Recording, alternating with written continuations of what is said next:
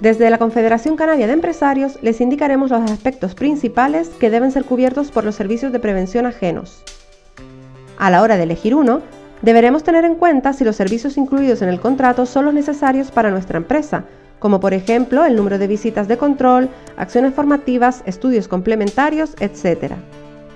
En función de cómo sea nuestra empresa, nos deben guiar al respecto, nos indicarán las actividades que van a realizar y cuándo, debiendo explicarnos en qué consiste cada una y por qué se deben realizar. Al comenzar su actividad deberán visitar nuestras instalaciones y estudiar nuestros procedimientos de trabajo.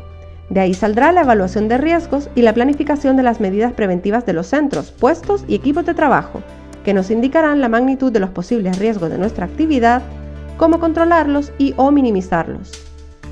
Cuando el servicio de prevención ajeno haya elaborado la documentación necesaria, deberá explicárnosla, no simplemente entregarla o colgarla a la plataforma de la que disponga. Otra cuestión fundamental será la formación, que es obligatoria para todos los trabajadores. Esta será lo más específica posible para nuestra empresa y actividad, diferenciándola por puestos de trabajo no debiendo ser genérica.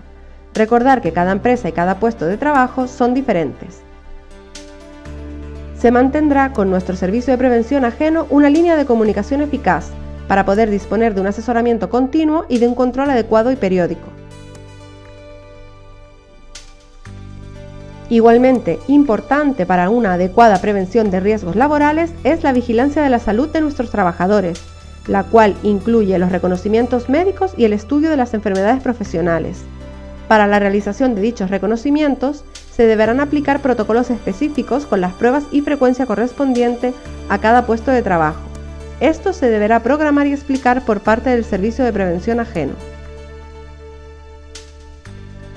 En cualquier contrato, también conocido como concierto, con un servicio de prevención ajeno deberán aparecer datos fundamentales como el nombre de dicho servicio de prevención ajeno y su número de acreditación ante la autoridad laboral, el nombre de nuestra empresa, la identificación fiscal y el domicilio de ambas. También deberán constar los centros de trabajo, el número de trabajadores y la actividad de la empresa así como las especialidades preventivas contratadas, ya que podríamos contratar seguridad en el trabajo, higiene industrial, ergonomía y psicosociología aplicada o vigilancia de la salud. Se deberán especificar el compromiso por parte del Servicio de Prevención Ajeno de llevar a cabo las actuaciones necesarias y cuáles van a ser, así como los medios a utilizar. De la misma forma, la empresa se comprometerá, entre otras cuestiones, a notificar al Servicio de Prevención Ajeno cualquier variación en la misma, además de cualquier accidente que ocurriera. También quedará reflejada la obligación del servicio de prevención ajeno de asesorar tanto al empresario como a los trabajadores o a sus representantes. Se deberán reflejar tanto la duración de este, normalmente anual, como las causas de resolución, así como las condiciones económicas, nombrando expresamente aquellas actividades que no estuviesen incluidas. Es bastante habitual que la renovación se realice de forma tácita y que si ninguna de las partes dice lo contrario, normalmente con dos meses de antelación, se ejecute de forma automática. De la misma forma, deberá constar aquellas actividades que fuesen legalmente obligatorias y que no estuviesen incluidas. El servicio de prevención ajeno de manera explícita se comprometerá a realizar las siguientes actividades. Programa anual del servicio de prevención ajeno, que es la previsión de las actividades a realizar en la empresa cada año en acuerdo con la empresa. El plan de prevención es el documento básico que estructura la organización y el funcionamiento de la prevención de riesgos laborales en la empresa. Evaluación de riesgos y planificación de medidas correctoras.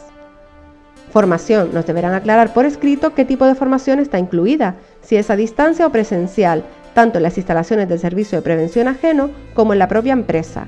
En caso de que dicha formación sea genérica, nos deberán indicar el precio de la formación específica que esté adaptada a nuestra empresa. Vigilancia de la salud. Deberá constar en el concierto el estudio de las enfermedades profesionales y si están incluidos los reconocimientos médicos en función del puesto de trabajo o si se facturarán aparte y en este caso a qué precio. Memoria anual de actividades preventivas de la empresa, que es el documento que recoge las actividades realizadas. El concierto incluirá las pertinentes cláusulas de confidencialidad, prestando especial atención a los datos personales de los trabajadores, así como las cuestiones inherentes a la propia empresa. Por su experiencia, el Servicio de Prevención Ajeno nos podrá decir aquellas actividades que se excluyen del contrato, pero que es probable que haya que realizarlas al igual que su costo aproximado. Si necesitas asesoramiento o tienes dudas al respecto, puedes contactar con nosotros al teléfono 928 38 35 00 o al correo electrónico prevención@ccelpa.org.